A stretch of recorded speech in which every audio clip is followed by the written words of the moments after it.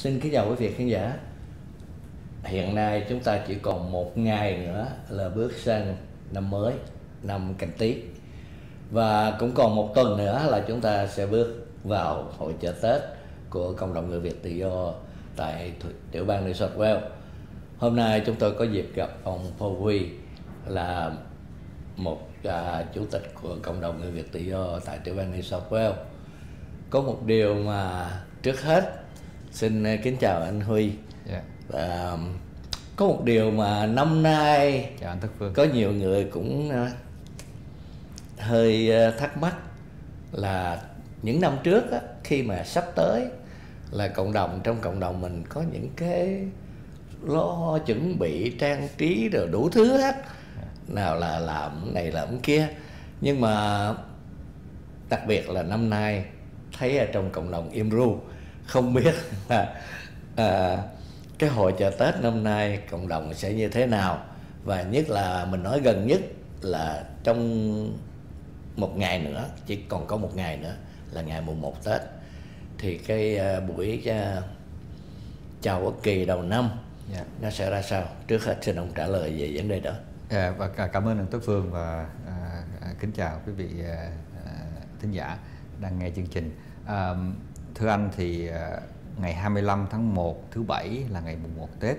À, như thông lệ hàng năm thì cộng đồng người Việt tự do lúc nào cũng làm cái lễ thượng kỳ à, và bàn thờ quốc tổ để mà đồng hương chúng ta giống như hội, hội đoàn đoàn thể có thể đến à, đón xuân và ăn Tết với ngày mùng 1 Tết.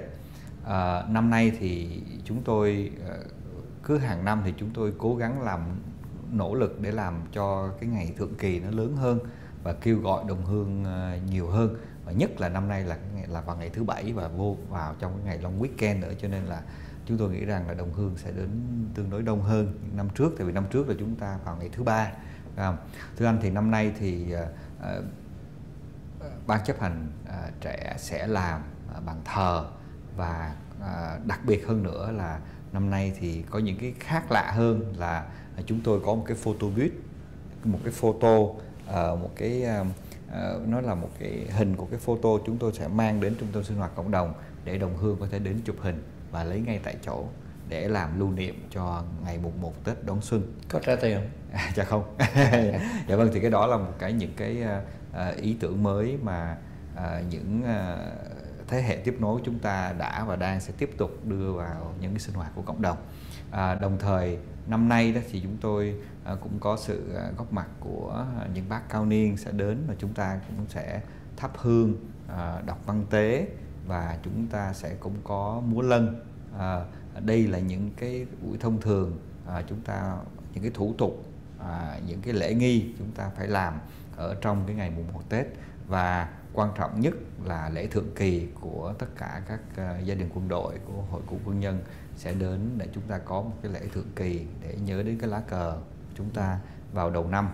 À, sau đó thì à, à, quý vị đồng hương sẽ à, cùng với cái cộng đồng để mà à, ăn một bữa trưa để đón Tết. Và sau đó thì những cái chương trình văn nghệ của nhiều những à, anh chị em ca sĩ của của Sydney sẽ đến với chúng ta trong một chương trình văn nghệ dài uh, cho buổi chiều. À, đó là chương trình. Mà đặc biệt hơn nữa đó thưa anh là năm nay thì chúng tôi cũng có sự liên lạc của đài TV ờ, đài ABC thì họ có liên lạc với chúng tôi tối hôm qua và họ cũng sẽ đến uh, uh, trung tâm sinh hoạt cộng đồng để thấy những cái sinh hoạt của chúng ta uh, vào ngày mùng 1 Tết. Đó là một cái chương trình rất, mới lạ so với những năm trước. Dạ. Nhưng mà năm nay đó thì chúng xin nói thêm là à, khi mà chúng ta à, thắp nến à, thắp, à, à, thắp hương để mà à, đến bàn thờ à, của tổ tiên thì chúng ta cũng cầu nguyện à, cho những nạn nhân bị cháy rừng à, trong suốt gần 2 tháng qua. À, thì chúng tôi cũng à, cộng đồng người Việt tự do lúc nào cũng gửi lời tri ân đến những à, À, người à, lính cứu hỏa cũng như là à, tỏ lòng biết ơn đến nước Úc. Chúng ta cũng tiếp tục mà nghĩ đến những nạn nhân của cháy rừng và chúng ta cũng tiếp tục những cái công cuộc gây quỹ mà để giúp nạn nhân đó. À, đồng thời à, năm nay thì anh cũng biết là à, lúc nào cộng đồng cũng hướng về à, quốc nội và những cái tình trạng đã xảy ra những tình trạng vi phạm nhân quyền rất là trầm trọng. Như là năm ngoái chúng ta có cái cái sự biến cố của vườn rau Lộc Hưng. Bao nhiêu những người bắt di cư đã bị bị phá nhà rồi bao những thương phế binh của chúng ta à, đã bị à, bọn cộng sản Việt Nam hành hạ và không cho à, à, đuổi họ đi những cái chỗ ở của họ. Và năm nay thì xã Đồng Tâm thì đây là những những cái chuyện mà vi phạm nhân quyền mà cộng đồng lúc nào cũng hướng về. Mà khi mà chúng tôi nói đến những ngày Tết á, thì cộng đồng lúc nào cũng à, nghĩ đến những khi mà chúng ta vui xuân ở đây thì chúng ta phải nghĩ đến những cái Tết mà đồng hương của chúng ta bao nhiêu thế kỷ trước hơn năm mươi mấy năm về trước à, Tết Mậu Thân à, và à, hậu duệ cũng nghĩ đến những cái Tết à, như Tết Ất Mão năm 1975 đó là cái Tết cuối cùng của Việt Nam Cộng Hòa. Và chúng tôi cũng nghĩ đến những cái ngày Tết mà thật thanh bình ở thập niên 50 và 60 dưới dưới uh, thời của Việt một Việt Việt Nam Cộng Hòa mà thật sự là À, chúng tôi muốn gửi gắm đến những cái thông điệp đó đến với những thế hệ tiếp nối. Thì à, anh vừa nhắc tới chuyện à, vườn rau Lộc Hưng hay là Đồng Tâm, thì nếu mà so với lại một cái chuyện mà sau đó anh nhắc tới là cái Tết Mậu Thân, thì phải nói là cả một miền Nam tàn tóc chứ không riêng gì một cái xã hay một cái huyện nhỏ thì đó là cái điều mà chúng ta dù là bao nhiêu năm mình cũng không thể quên được những dạ nạn nhân trong Tết Mậu Thân. Dạ vâng, thì đối với cứ mỗi lần Tết thì những cái sự đau thương và tan tóc ở trên uh, quê nhà thì lúc nào nó cũng cũng cũng gắn liền với lại cái cái đất nước của chúng ta. Thì vì vậy mỗi lần Tết uh, chúng ta đón xuân chúng ta vui với những ngày Tết với gia đình cũng như với với đồng hương nhưng chúng tôi không quên nghĩ đến và nhắc nhở để cho uh, các thế hệ sau biết được là những cái những cái gì đã xảy ra cho đất nước chúng ta nhất là vào dịp Tết và đó là Tết Mậu Thân. Yeah.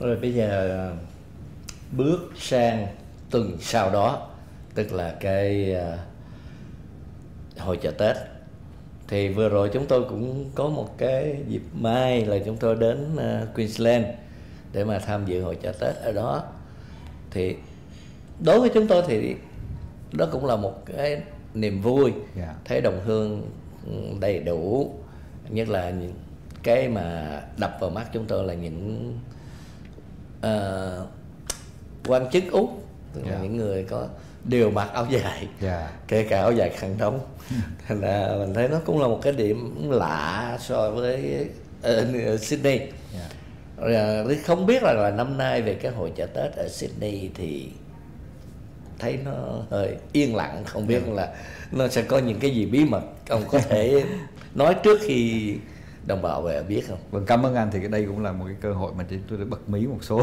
một số những gì về chợ Tết. À, đối với cá nhân chúng tôi và đối với ban chấp hành năm nay đúng là một năm rất đặc biệt.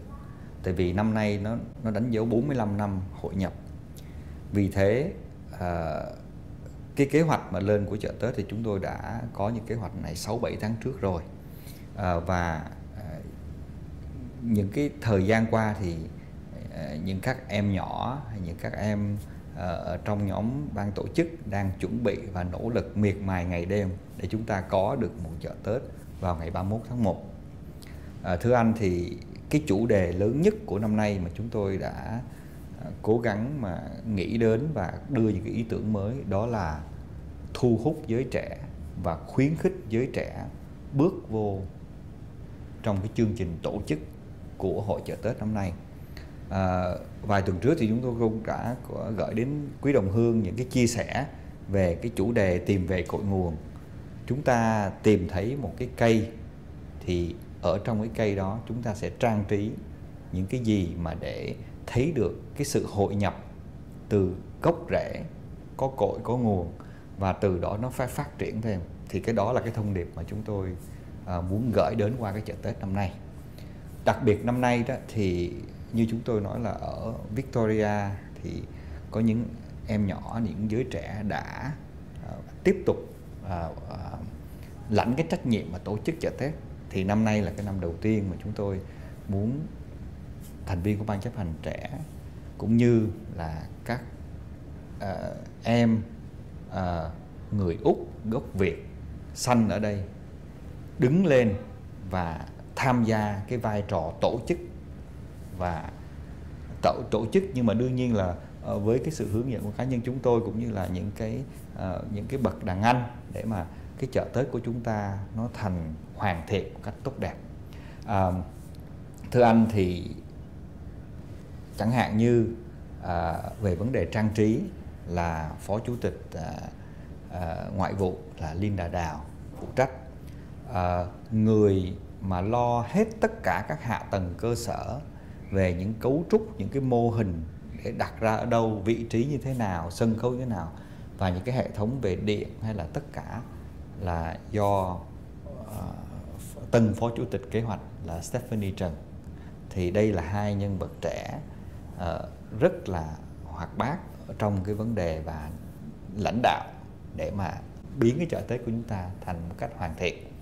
À, thưa anh, thì chúng tôi cũng nói thêm là cái cổng của chợ Tết năm nay đó là một cái hình thức, một cái ý tưởng mới, một cái sáng tạo mới của các em đưa lên và chúng ta sẽ có một cái cổng rất là nhiều hoa cái nhiều hoa nó tượng trưng mà cái hoa này nó nó hoa bông một cái bông mai lớn những cái bông mai rất là nhiều bông mai chúng ta cả trăm cả trăm những cái bông mai đó. Và thậm chí có những kích đủ loại kích thước phải kích thước nó lên tới một thước đó cho nên là đây là một cái cách trang trí mà nó có đầy nó có cái dụ nó có tiềm ẩn nhiều ý nghĩa trong đó. Và những cái ý nghĩa đó nó có ý nghĩa về văn hóa về cội nguồn về sự phát triển. Và à, đi sâu hơn nữa đó thì chúng ta à, sẽ có những cái vườn xuân vườn xuân này là một cái sự kết nối giữa sinh viên VSA có nghĩa là uh, sinh viên của các trường đại học và các em là những em uh, sanh ở úc mà bắt đầu hiểu được tết và dùng những cái ý tưởng của họ để mà mang những ý tưởng của họ tới làng xuân. Nhưng mà song song với cái đó đó thì chúng ta lúc nào cũng phải bảo tồn và có những cái văn hóa truyền thống nó nằm ở trong một cái làng xuân đó. Thì đó mới gọi là làng xuân à, à, à, hoàn thiện dạ. thưa anh thì để chúng tôi à, đi đi sâu vô một chút chút xíu. À, năm nay là năm con chuột. Thì những cái hình ảnh về chuột hay là gia đình chuột thì nó sẽ hiện ra trong làng xuân. Và các em sẽ là người trang trí và làm những cái thủ công. Đặc biệt năm nay những cái bông hoa mai hay là những cái hình con chuột thì đó là thủ công bằng tay chứ chúng tôi không có mua. Làm bằng tay sơn bằng tay và các em đang miệt mài làm những công việc đó và nó sẽ mang đến làng xuân và để trang trí. À, à, rồi để, để, để chúng tôi nói một vài cái mà chúng tôi cũng có là rất là nhiều những ý tưởng mà uh, các em đang chuẩn bị để làm.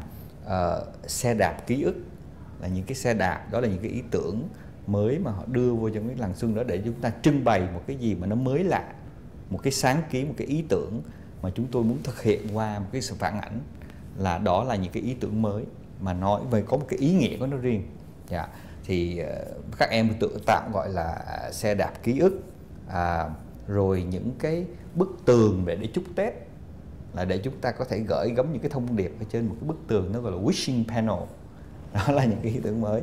À, rồi sau đó um, thì um, có một cái cái cuộn phim mà tôi nghĩ là uh, rất là, là là là công lao thì các em đã xin được cái giấy phép được chiếu cái cuộn phim mà nó gọi là đôi giày của bà là uh, grandmother shoe thì uh, một người uh, uh, úc gốc việt là cô Christina Huỳnh đã là người phát họa ra cái đó và có các bản quyền với uh, uh, National Library là thư viện quốc gia ở Canberra và chúng tôi có được giấy phép và được chiếu cuộn phim đó ở trong ở trong uh, làng xuân à, trong cái cái culture village. À, chiếu là chiếu à, theo là chiếu phim ạ à, chiếu, chiếu phim ạ. À. nhưng mà theo giờ thì chắc là... chắn là các em sẽ có sẽ lên những cái, cái chương trình chiếu phim ở trong suốt 3 ngày tết để đến đó rồi à, chúng tôi vẫn ờ, có thể là mua popcorn đó là để cho các em thưởng thức. Thì ờ, đây là một cái chợ Tết mà qua cái cái cái cái sinh hoạt của cái làng xuân đó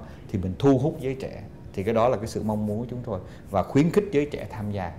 Và sau đó thì khuyến khích giới trẻ uh, là những người lãnh đạo của tương lai. Thì cái đó là chúng tôi cái cái thông điệp mà chúng tôi muốn gửi đến. Và vậy chúng ta phải làm những cái gì nó mới lạ và nó thu hút đến với những cái giới trẻ. Và như anh như chúng tôi cũng đã đề cập là tất cả những cái thủ công những cái uh, trang trí đó thì chúng tôi là thủ công bằng tay và nó tỉ mỉ hơn tại vì nó có một cái cái gì đó mà các em làm nhiều thì nó thành những cái gì mà nó gắn bó hơn để mà nó truyền đạt một cách uh, rẻ hơn uh, chúng tôi có một cái may mắn là được nhìn một trong những bông hoa đó là yeah. bàn tay yeah. À, rất rất là đặc biệt. Yeah. tôi, tôi cũng đã thấy rồi. Dạ vâng. Thì chắc chắn là đến ngày gần đến ngày đó thì à, ngày vào ngày thứ ba tuần sau thì chúng tôi bắt đầu sẽ lên những kế hoạch dựng lên những hạ tầng cơ sở như sân khấu rồi cổng vào ngày thứ tư. Và ngày thứ năm thì các em sẽ sẽ vào sẽ sẽ gắn những cái trang trí đó à, ở trong làng xuân. À, nhưng mà song song với những cái gì mà những cái ý tưởng mới lạ đó thì chúng tôi cũng lúc nào cũng nghĩ đến cái gì mà nó cổ truyền của truyền thống. Chúng ta có ông đồ ông đồ là một người trẻ ờ, ờ, uh, gần như là gần như là sanh tại úc. Và người đã lớn lên và học thư pháp và sẽ viết những cái thư pháp đó. Cho nên hoàn toàn là đó là những cái ý tưởng và sáng tạo của những người trẻ của những người úc gốc việt. Và cái công việc của chúng tôi là phải làm sao mà kết nối và sẽ để đẩy mạnh những cái sự tham gia của thế hệ tiếp nối vào trong cái làng xuân và vào trong cái chợ Tết của chúng ta. Và có ông đồ là ông đồ rất là trẻ chứ không phải là ông đồ là ông đồ già. già. Là tại vì năm nay là cái năm của giới trẻ cho nên chúng tôi muốn đẩy mạnh cái đó. À, vâng thưa anh nhưng mà đó là những phần ý tưởng. Thì làng xuân nó có hai nó có hai mặt. Thứ nhất là những cái ý tưởng những cái gì mới lạ nhưng những em trẻ những người úc gốc việt sanh tại úc nghĩ gì về tết thì họ sẽ phản ảnh nó qua cái sự ý tưởng của họ qua cái những cái gì mà tôi đã trình bày. Nhưng mà song song với lại những cái ý tưởng đó đó thì chúng ta không quên những cái vật những cái gì mà nó liên quan đến uh, cái cái truyền thống của của ừ. Việt Nam ngày xưa. Thì anh nhớ là năm năm 2018 đó thì chợ Tết chúng ta uh, có một cái theme là cái chủ đề về về miền Nam là thành phố Sài Gòn là chợ Bến Thành năm 2019 thì chủ đề chúng ta là miền miền Trung của Việt Nam là cố đô Huế. Và năm nay thì những cái món vật gọi là lạ đi tại vì nó không thấy thường xuyên là như là xe kéo những cái ngôi nhà ngói ở miền Bắc. Việt Nam. Thì năm nay chúng tôi sẽ có những cái mô hình đó à, đến vào chợ Tết và để trưng bày để quý vị đến để chụp hình. Những cái xe kéo và những cái người thật đứng kéo chúng ta sẽ cái đến thì ờ, phong là quý vị đến mà chúng tôi sẽ nỗ lực để mà làm sao mà chúng ta thấy được đủ mọi mặt của chợ Tết. Yeah. À, vâng thì cũng nói với anh là tại vì à, cũng thời giờ cũng quá bận rộn gốc rút cho nên cũng không có à, trình bày đến những đồng hương trong những ngày tháng trước là vì chúng tôi có rất là nhiều công việc nhưng mà nhưng mà các em đang nỗ lực để mà làm để mà trong vòng vài ngày nữa là phải hoàn tất và phải mang đến cho uh, uh, showground để để mà chúng ta có kịp được cái ngày chợ Tết.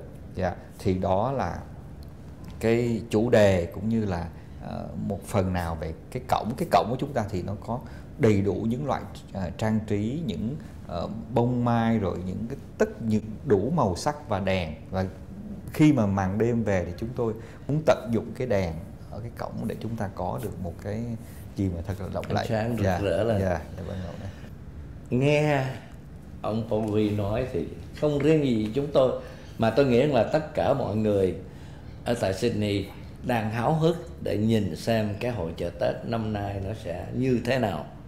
Và đặc biệt là khi mà nghe nói một cái đánh, một cái buộc ngày đánh dấu 45 năm người Việt xa xứ. Cộng thêm đó là giới trẻ sẽ nối tiếp cha anh trên bước đường lãnh đạo và nối tiếp trong cái việc uh, tham gia vào những sinh hoạt của cộng đồng. Đó là một điều rất là tốt. À, à thưa anh thì à, đối với chúng tôi thì đương nhiên là mình cố gắng à, để mình khuyến khích và chắc chắn là bất cứ một cái cái cái một cái sự tổ chức nào nó cũng có cái thiếu sót nhưng mà chúng tôi đang miệt mài và nỗ lực để mà làm sao cho vượt qua được những cái khó khăn những cái thử thách cũng như là vượt qua những cái gì mà chúng tôi nghĩ là chưa có được hoàn thiện. Thì đây cũng là một cái chợ Tết mà chúng tôi nghĩ rằng là uh, thế hệ tiếp nối đang tiếp tục trên con đường mà ờ, tổ chức cũng như là lãnh đạo để mà chúng ta có một cái chợ Tết mới mẻ hơn. Mà một cái điều mà chúng tôi quan tâm nhất là chúng ta phải làm sao mà kết nối được những cái sự tham gia rất đông của những đồng hương xa gần. Yeah. À, cũng mong là quý đồng hương à, đến để mà ủng hộ à, chợ Tết của cộng đồng cũng như là đây cũng là một cái một, một cái gì biểu hiện cho cái sức mạnh của cộng đồng của chúng ta.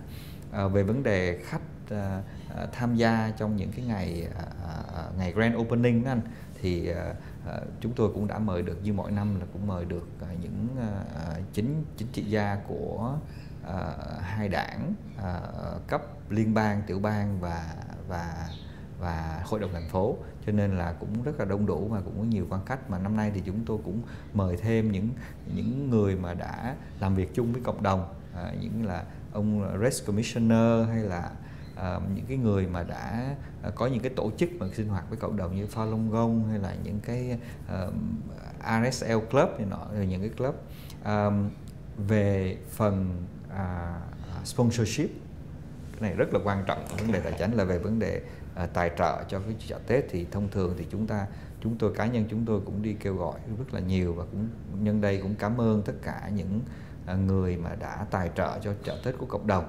À, thưa anh năm nay khi mà nói đến vấn đề sponsorship đó thì có một điều mà chúng tôi rất là vui và được chia sẻ thêm với anh là như thế này.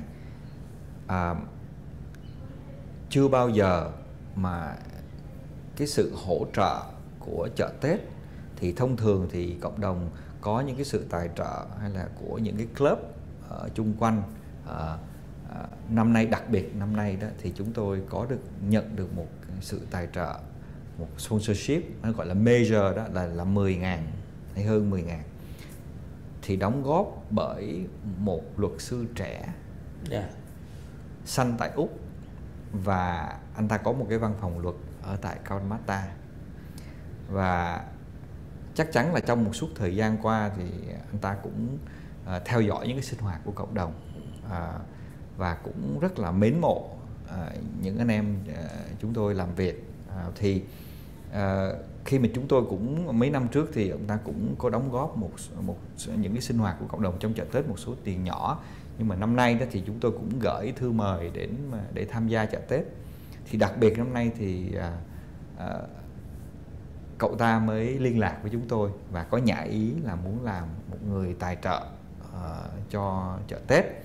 Thì tôi cũng ngạc nhiên là tụi mình cũng đón nhận cái đó cũng giống như là một cái sự rất là quý báu những người nào mà đến đón nhận mà xin tài trợ cho, cho cộng đồng là đó là một cái điều rất là quý. Nhưng mà tôi làm cho tôi ngạc nhiên hơn nữa là uh, cậu ta đã tự ý và nói là xin à, đóng góp một số tiền là 10 ngàn cho chợ Tết. Cho nên tôi nghĩ rằng đây là một cái điểm cái mốc điểm mà chúng tôi rất là vui mừng là đầu tiên trong 45 năm hội nhập mà một người Úc gốc Việt sanh ở tại Úc mà đã đến với cộng đồng một cách nghĩa là à, tôi đối với tôi là quá ngạc nhiên và tôi nghĩ là cái đây là một cái điều rất là vui cho cộng đồng chúng ta là có những người trẻ đã đến với cộng đồng và tham gia. Và tự ý anh đã đóng góp cho cộng đồng như vậy như là một nhà tài trợ. Thì ngoài những cái chuyện mà mình vừa nói những cái um, bề nổi thì à, không hiểu là năm nay giờ Tết của mình về cái mặt tổ chức ví dụ như capa hay là lối vào hoặc là giá vé thì mình có những gì thay đổi hay không? Dạ vâng thưa anh thì giá vé nó vẫn như cũ. Và trong suốt à, năm à, 6 năm vừa qua thì cái giá vé vẫn là 7 đồng cho người lớn và 5 đồng cho à, trẻ em dưới 12 tuổi. À, thì cái giá vé nó vẫn à, ờ, y như vậy. À, về vấn đề trật tự an ninh thì năm nào chúng tôi cũng à, nhờ đến những à, thành viên trong hội cựu quân nhân à, và à, những gia đình quân đội đã làm những công tác này như mọi năm và về vấn đề trật tự như giữ xe thì các anh ở bên trong 18 16 gia đình quân đội cũng sẽ tham gia và phải làm những công tác đó như mọi năm. À, đường đi vào vẫn là phải showground uh, cá bạc Ờ, có thay đổi gì không? Dạ vâng, dạ thưa anh năm nay đó thì khác với năm ngoái tại vì năm ngoái là khi mà chúng ta làm cái chợ Tết đó, thì cái cái showground nó chưa được chưa được hoàn thiện, chưa chưa xong cho nên là chúng tôi tốn khoảng 60% thời gian để tập trung mà làm sao cho nó xong. Năm nay thì chúng tôi không có phải bận tâm về vấn đề đó là vì cái đường đi vào vô trong sân rất là đẹp tại vì họ đã làm lại hết và những cái cái những cái sân mà ngày xưa gọi là một cái bãi đất mà họ đang làm thì nó biến thành một cái sân vận động sân đá banh rồi. Cho nên nó không không không có nhìn nó rất là đẹp mắt. Không và có bụi bặm dạ, không nữa. có bụi bặm và đi đường đi vô xi măng rất là đẹp và sẽ đến cái cổng của chúng ta. Và đến một cái chợ Tết chúng ta đã thấy ờ, nhìn nó rất là mát mắt và nó, nó, nó rất là tốt. Và đặc biệt hơn nữa là năm nay đó ờ, những cái ờ, có một cái khu khoảng chừng gần 2.000 mét vuông thì cái khu đó có xi măng và có mái che và nó hai cái quạt rất là lớn thì khu đó nó sẽ biến thành là khu đồ ăn food À. corner. Cho nên nếu trong trường hợp quá nóng thì chúng ta có mái che và hay là không có quá bụi là nó có xi măng ở dưới. Cho nên những cái food tent đó là chúng tôi để sẽ để ở trong đó thì sẽ có sự thoải mái hơn. Mà à, hay là những cái trận mưa nhỏ đó thì nó cũng không sao là không có không vừa không có bụi và không có sình lầy đó. À, cái cỏ ở ngoài thì cũng tương đối là khá mới cho nên chúng ta không còn bụi nữa. Cho nên nói chung là nếu thời tiết ôn hòa hơn á, thì chúng ta sẽ có một cái một cái chợ Tết nó rất là vui và nó không có quá nhiều bụi bặm. Và nếu mà có mưa đi chăng nữa thì chúng không có bị nhiều sình lầy. À, thì cái đó là cái cái cái mà chúng tôi lúc nào cũng quan tâm. Tại vì khi đồng hương đến một cái showground mà không thấy thoải mái về quá dơ hay là quá bụi hay là Ờ, nó, nó nó nó thời tiết như thế này thế nọ đó thì chúng tôi cũng không có được yên tâm lắm cho nên chúng tôi phải làm sao mà để coi những cái cái cái, cái cách sắp xếp là cho nó nó, nó, nó, nó được hoàn thiện để ờ, chúng để đồng hương đến ờ, chợ Tết nó thoải mái hơn. 5 giờ chiều ngày 31 tháng 1 thì ban chấp hành của cộng đồng cũng như là ờ, tất cả những người ờ, sự nguyện viên sẽ hay là những em trong ban trang trí sẽ có mặt ở đó chúng ta sẽ mở chợ ờ, mở hội chợ Tết vào đúng 5 giờ chiều và chương trình văn nghệ sẽ bắt đầu à, cho đến à, ờ, 10 giờ rưỡi đêm. À, ngày 1 tháng 2 đó là ngày chính thì à, ngày 1 tháng 2 thì chúng tôi năm nay chúng tôi có chương trình karaoke từ 1 giờ cho đến 5 giờ. Thì năm nay chúng tôi cũng kêu gọi đồng hương đến tham gia chợ Tết. Nếu quý vị nào đến trước cái giờ khai mạc đó thì chúng ta khai mạc lúc 6 giờ. Thì grand opening là cái ngày mà khai mạc chính thức á, 6 giờ thì 1 giờ đến đến đến 5 giờ thì chúng tôi có một cái chương trình cao karaoke rất là dài dành cho quý đồng hương nào muốn ghi danh để mà hát vui ba ngày xuân. Thì à, các em à, đã làm những chương trình này rất là lâu năm và rất là uh, rất là hay và muốn khuyến khích đồng hương đến tham gia trong chương trình đó. Và uh, sau đó thì chúng tôi có cái lễ khai mạc từ từ 6 giờ cho đến 8 giờ và chương trình văn nghệ vẫn tiếp tục. Yeah. cái ngày uh, chủ nhật thì chợ mở lúc 12 giờ nhưng mà lúc 2 giờ chiều cho đến 5 giờ chiều thì chúng tôi sẽ có ban nhạc sống và cũng mời kêu gọi đồng hương lên hát ở trong chương trình đó cho nên hai ngày chúng tôi đều có những cái văn nghệ và mình sẽ kết thúc vào lúc mấy giờ Dạ, năm nay thì kết thúc vào 10 giờ rưỡi. Dạ. Đặc biệt anh lưu ý thêm là năm nay chúng tôi sẽ không có bắn pháo bông và không có đốt pháo. Vì đây là một cái à, chuyện mà chúng tôi à, nghĩ là chúng tôi phải bỏ năm nay là vì à, đây là một cái sự à, năm nay là cái năm cháy rừng mà chúng tôi không muốn đốt pháo hay là như vậy nó nó nó nó nó, không có được tốt cho lắm cho nên là chúng tôi nghĩ rằng đây là cũng là một cái sự để chúng ta nghĩ đến những nạn nhân cháy rừng cho nên ban chấp hành quyết định là không có đốt pháo cũng như là bắn pháo bông như thường lệ. Yeah. Ừ, chúng tôi mong là chúng tôi sẽ có những hình ảnh về hội chợ Tết gửi đến quý khán giả trong một ngày rất gần tức là trong cuối tuần tới.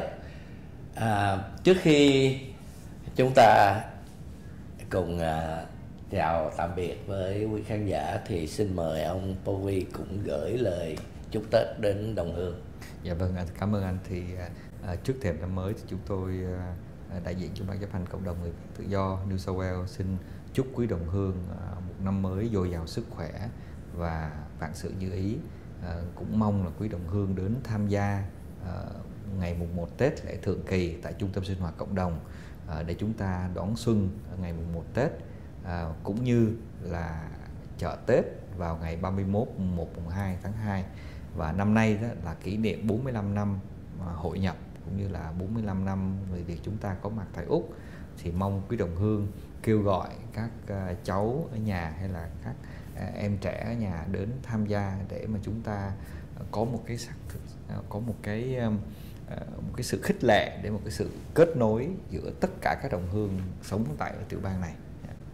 Xin cảm ơn ông Phú Huy, Chủ tịch Cộng đồng người Việt tự do tại New South Wales đã cho chúng tôi một ít phút nói chuyện về ngày Tết năm Canh Tý sắp tới đây chỉ còn một ngày nữa thôi là chúng ta bước vào năm mới. Xin kính chào quý vị khán giả.